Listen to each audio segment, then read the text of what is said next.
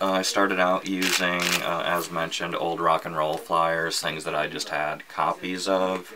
Generally, they were shows I promoted and created the flyers because copyright's a big issue in everything that I'm doing here. Like I mentioned, that I started out just kind of co-opting my old rock and roll flyers, and so this was an old Second Story flyer from when I used to to run that. That was a band I managed.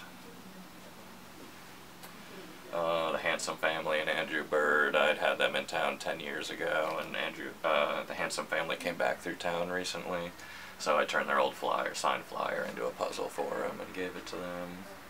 And then you have to sand every single piece individually, uh, and then you seal the back and wax it, and um, and then reseal the front.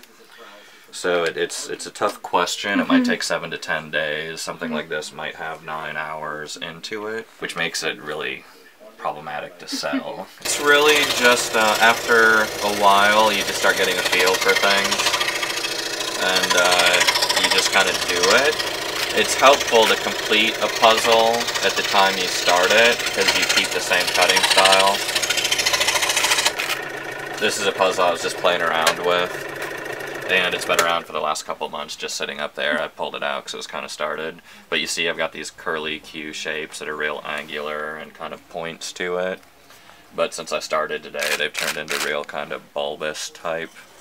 The thing that can go wrong is if you're trying to get a piece, a puzzle that uh, is really interlocking, and you don't make this cut right.